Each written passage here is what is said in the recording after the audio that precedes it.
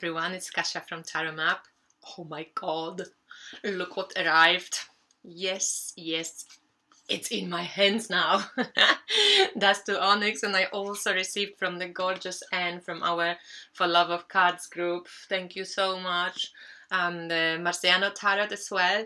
I haven't actually looked for, for through the cards yet because um, I went to the park, you know, when I was coming back from the post office, and I just pulled the book out, and um, I read this beautiful introduction by Courtney Alexander when she um, speaks about invocation, and she said like write to your ancestors, guides, spiritual court, angels, higher deities, or other spiritual entities you reverence and this deck is not for me it's for you. It's the only befitting that you let your love and gratitude be known in your own language. Take a moment to create a sacred space that could be a place of solitude in your home in a park or even in your car.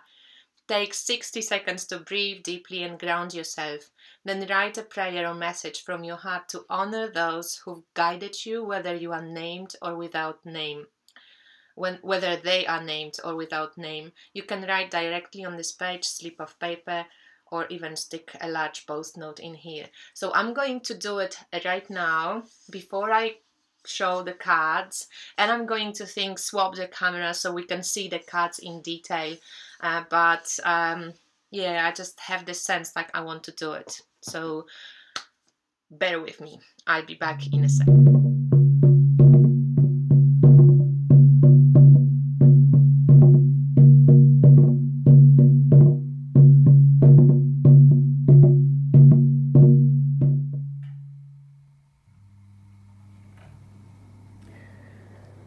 So let's go.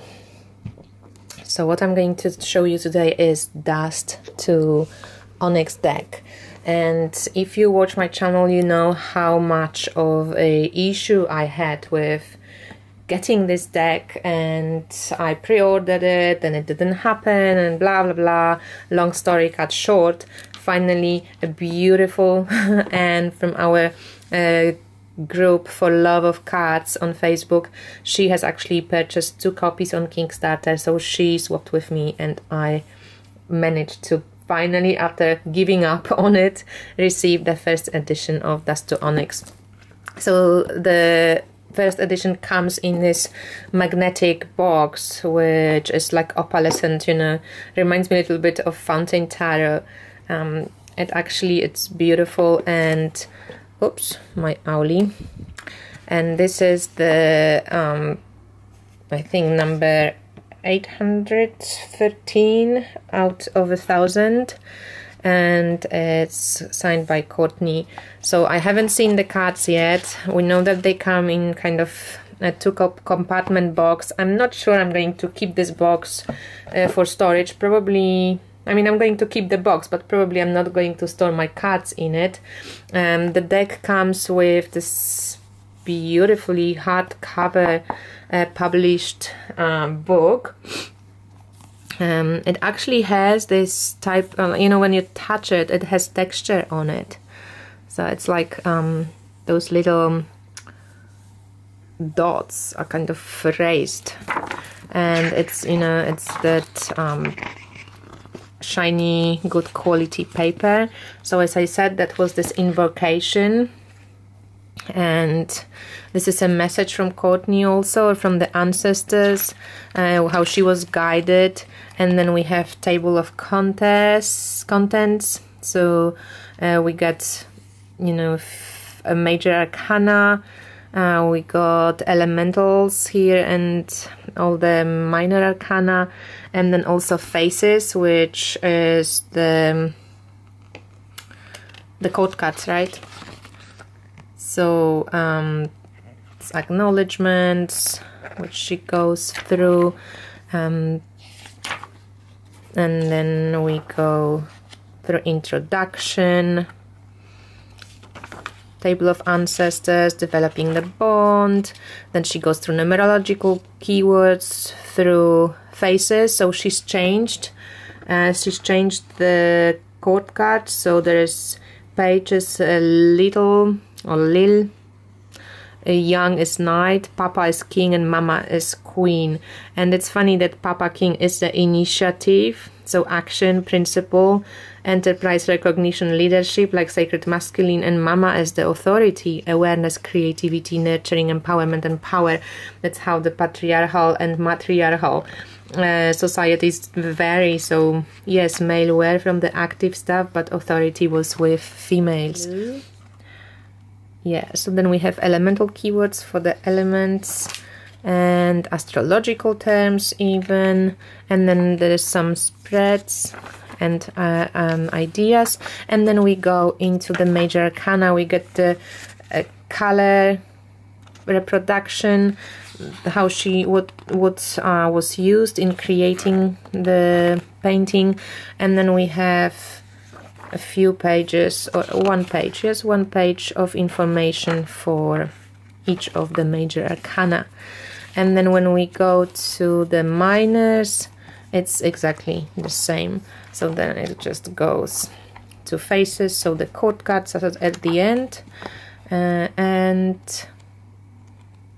yeah and so there's Courtney and artist statements. So that's it. The book that's quite beautiful for um, yeah for this deck. It's amazing quality.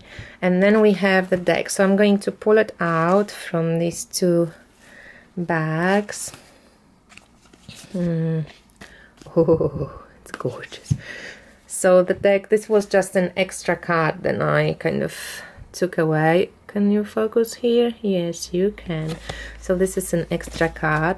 Um, this is the artist card, Melanated Tarot deck, Carl Courtney Alexander, and first edition. Oh my god, I'm so excited. So now, uh, let me check, maybe I can... Do I want to reduce that? Yeah, that's better. Okay, so... How should we do it? Should we do it like this? Is it better? Maybe I just like put this here so I know where we are. Okay, so um, just one sec. This is better, I think. Yeah.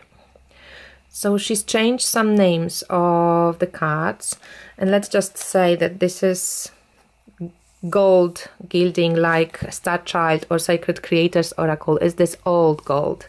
It's not the, you know, shiny, shiny gold. So it's gorgeous. Oh my god, these cards are stunning. So here we have um, the emerging one. So this is the full. And I don't know, you can probably see through the light. So um, she added these elements that are shiny, that different texture, and this is the bags. And the cards feel very kind of smooth and buttery. And then you have this texture where there is this UV spotting. So this is the emerging one. And then we have the conjurer and and you can see these elements that are different that are added so this is a magician it's cool it looks like sunglasses but it's the eternity sign. Wow the high priestess is the shaman. Love her.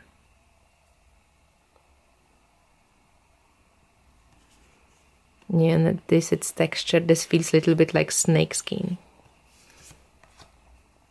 Hmm. Queen Mother is the Empress, very voluptuous, fertile, abundant, full of milk, full of nourishment. The chief for the Emperor.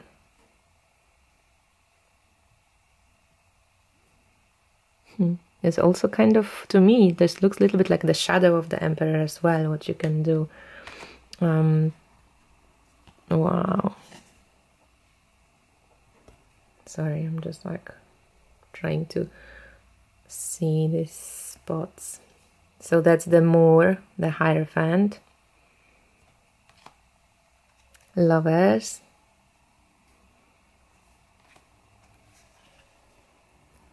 The Rider, so the Chariot.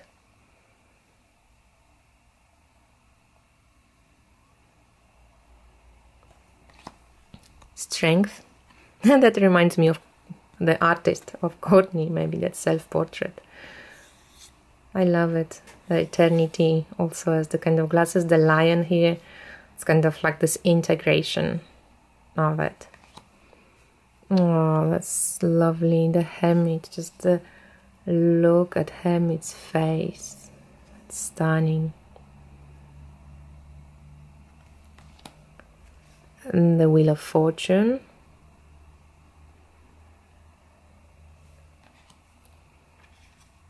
Justice. That's very collagey. I love the owlie here. And the justice is kind of like it looks at you, but uh, yeah, when you kind of look at it, it's kind of like looking through you, not really at you. Which is the justice is often the justice is kind of sense. Suspension is for the hangman,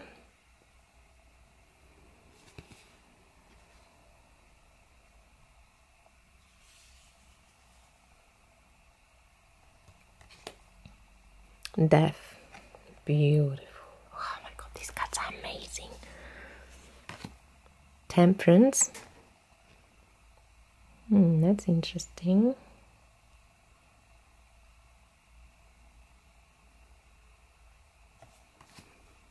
Temptation is for devil. I love it. It's very kind of modern tower oh, very color colorful very busy different textures different pieces of things. So it's like you know chaotic but also creative erupting with this uh, potential for creating something unusual something different from all these pieces but also potential for chaos right? The star. Oh, this is like a is this somebody? It's like a person suspended in the bubble. Maybe, I don't know, she feels like she's sending healing to that person or. Yeah, it's strange. To me, it's the first um, thing was, but also could be, it's not a fetus, like fetus uh, or a baby, but it seems like a womb maybe she's imagining creating something or sending healing to this or healing. Yeah i will have to sit with it. Oh that moon card when i saw it. Stunning. Oh. the sun. Like seriously this deck is amazing. Whatever she's done to it it's like incredible. And this inner child also here i love that take and judgment. Also when I saw this. Judgment the eyes and the butterfly. Big one. And the universe. That's a round thing on the chest like that connection. Like you one with everything and it's still changing. So then we have blades and I think this is the um, swords, like swords, ace of blades. Coloring is stunning in this deck. Two of blades. So the ma ma majors are very kind of easy recognizable. With the minors, it's a little bit different. Um, I think the book uses. Is this like Rider Waite Smith? Let's just see the two of blades, for example. So what do we get here is um, awakened, its mental balance, naturality, compromise, truth, objectivity, and dormant energy when it's indecision, stagnancy, denial, passivity, and paradox. So it's definitely two of swords, right? Because we can recognize it. And then as we move through the new energy of the ace of blades, I love when they connect cards in the books. We come out of the tunnel of light into the night. This is it's in this place that we now weigh the opposing forces in our lives. We gain our footing again, and to do so, we must dance with the spirit within. It's during this time of quietness and stillness we are most receptive to the ideas and insights that come forth. Under a waning crescent, as a shaman stands, so she connects also this to number two, which is High Priestess, which is shaman in this deck. I love that. The swords in her in each hand stay poised and ready at the shaman's side, for the moment action must be taken. For now it's simply a time to receive. The shaman takes on a higher persona that eases communication with those in other dimensions. Instead of being blinded, they dress in a way that facilitates higher connection just as we think of objectivity as mentally removing our emotions, the same can be said of the spiritual, where the individual ego is put to the side so downloads from higher realms are without interference. Two of Blades comes up as a challenge for us to really think about um, the decisions we are making. We may be stuck, running in a circle in our minds that is inhibiting us from making a choice or sticking to it. It's fine to take time and consider as many facets as possible, but we must strike a balance, lest we find ourselves um, running on the mental hamster wheel, going nowhere. It's also important during this time to keep our emotions in check. This is the quiet before the storm and the best time to put ourselves in a state of equilibrium before one set be- before the onset of new challenges. So definitely she bases the information on the Rider Waite Smith um, deck uh, and the meanings of the cards. Love the moon here. So it's the stillness and shaman. So then we have three of blades, which is three of swords, four of blades. And I've had somebody said that yeah, they have to like you have to look at these pictures like uh, in an art gallery. When you take it too close, you don't really recognize what's going on. You have to like take take a stand, like see it from a distance first, see what's going on. So there's four people walking with the blades, right? Um, and then we have five of blades, so five of swords. You can uh, start seeing that suffering kind of going on. Six of blades, and now here, what's going on here? This is like a person carrying, I think, the blades and moving um, forth with them. Seven of blades. There's the person carrying six blades and seven is here but people are sitting in front here. So it's yeah it's interesting take modern different take on rider waite smith deck. Eight of blades eight of swords either not seeing this but also this you know being attached or limited by your lineage by what was happening to your people um, not feeling like you can free yourself of that heritage. Nine of Blades. Wow. This is like gorgeous art. I feel like I'm in the art gallery right now. And Ten of Blades. And then we have the little blade, little blade, like little blade. So page, young blade, knight, papa blade, and Mama blade, the authority of blades. Wow. So then we have coins. So this is Ace of Coins. You kind of have the coin in the face. two of coins. I love this coloring. So two of coins. Um, three of coins. This females holding that vase, so that's cooperation. Four of coins maybe stabilizing yourself with the stick walking stick five of coins what's this um, okay i think this is uh, like a boat with immigrants so this is also quite a political deck so i think this is a boat with immigrants packed with people moving uh, through the sea you know coins are being lost in the froth here um, so basically, this is distraction. I mean, this, the stressful situation, crisis, right? Six of coins, as like just the moon dropping coins into the sea that's interesting. I've got to sit with this one. Seven of coins.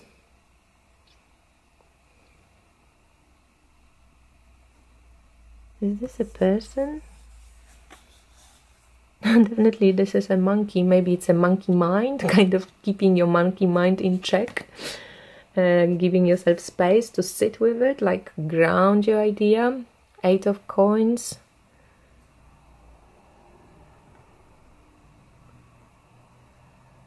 and this is this elaborate kind of plates maybe making it you know happen on your head in interweaving what you know like your skills. Nine of coins. She's happy right? And ten of coins. And that's like holding hands holding coins so stability and this kind of yeah i've got it i've done it. And then we have court cards little coin um, young coin papa coin mama coin. I've got to move on because my camera is dying.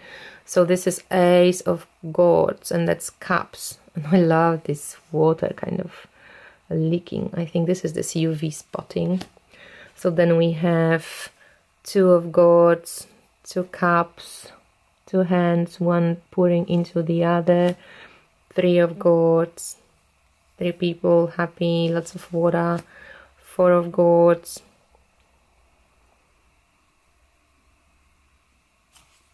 five of gourds six so that's the stability kind of yeah we did it together.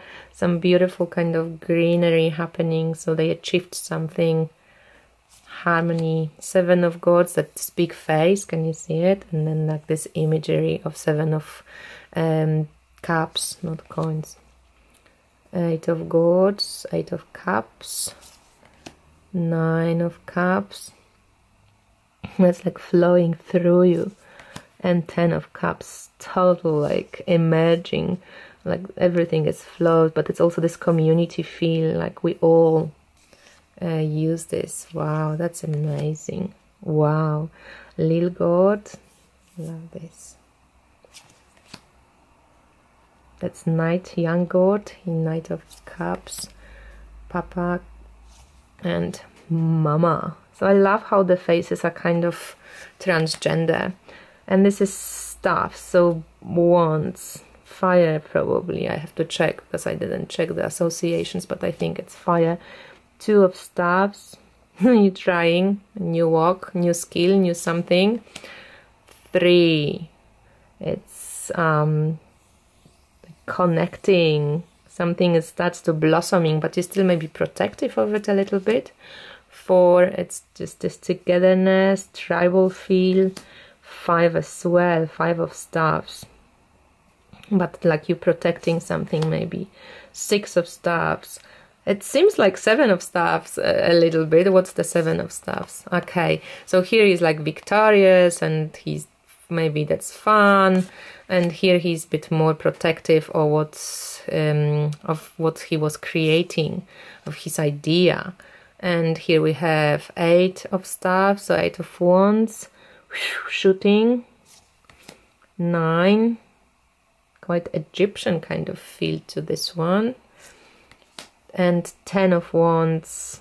Also with this Isis here. But that's kind of feels like very like you successful a lot of fire you go with the force. And then we have little staff young staff knight of wands papa staff is cute and mama staff Wow, so this is dust to onyx. And let's see how it shuffles. I haven't, as you see, shuffled it yet. So now maybe I will give myself some more space. Put the stones back. And let's see. So it shuffles beautiful. You can riffle shuffle it if you want. I think you know, it's still quite stiff, the cards, but it's it's going to loosen up a bit. Um, one more time and then we put three cards out just for the sake of how does it look when you put the cards out together so let's just take a look. So we get ace of it's closer now. Ace of wands. And then let's just maybe split it. Five of wands. And one more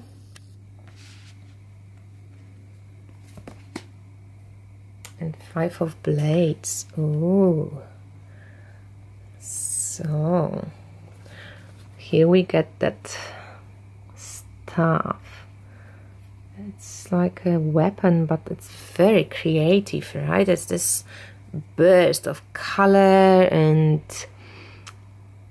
it even could be like an instrument of something like it's like freeing something up and then we have this protective attitude at the five of staffs but we have this um, continuation of growth of that fire energy into five.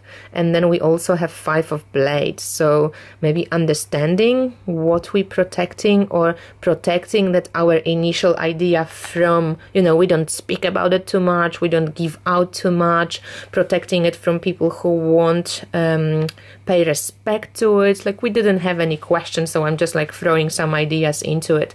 So in a way it's um, yeah the cards look gorgeous together. So let's just put uh, one more one more into the stops i'm like keep just shuffling it but two of blades stops and blades air and fire. That's all we get.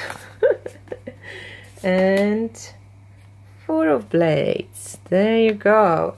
I want to pull some coins or something. Nine of blades. No not given and ten of staffs and the last one. Ah the sun. Gorgeous. Okay. So here you are. Dust to onyx tarot amazing amazing amazing. Thank you for watching. Thank you ann for swapping with me. You made me so happy. And um oh actually I just quickly want to show you also this um, Marziano Tarot, right? Because I got it also from Ann from the swap. And it's a deck by Robert M. Plains, uh, Place, the oldest known tarot deck, apparently from between 412 425. It's got the, this is the backs. So this is Zeus, um, Juno, so Hera probably, Pallas, Venus, Apollo, so these are gods like Neptune, Diana, so my Artemis, ooh, as chariot, awesome. Bacchus, Mercury, Mars, Vesta, Ceres, Echo, Iolo, Daphne, and Cupid. And then we have two king and queen of each suit. And then we have each suit is from ace to I mean from 1 from ace to 10 so these are eagles. So it's a little bit different deck. I haven't read anything about it yet because I just got it. So I'm not going to go through all of them. Then we have uh, phoenixes. And then we have turtle doves and then we have doves. White doves. But it's beautiful. It's Robert M. Place. You can't go wrong with his decks can you? So also thank you so much for this. Amazing. Okay that's it. Thank you everyone. And I speak to you soon. Bye